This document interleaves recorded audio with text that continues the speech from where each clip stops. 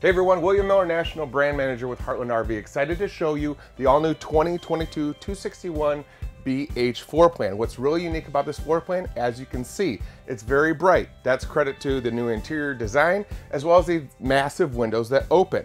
Now, the main attraction of this floor plan was for you, the customer, that want to host seven to eight campers, depending on their size, comfortably in a floor plan that's going to be under 31 feet.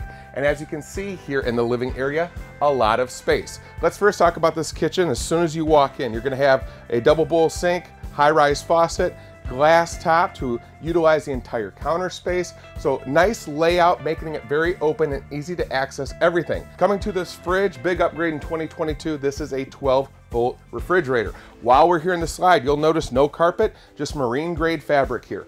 You've got a jackknife sofa. It's gonna fold out. Remember, this floor plan's under 31 feet and will sleep seven to eight campers comfortably. And you can tell there's a lot of space here. Across from the slide is where we're gonna have the dinette that we have collapsed just to, again, showcase another location for your campers to sleep.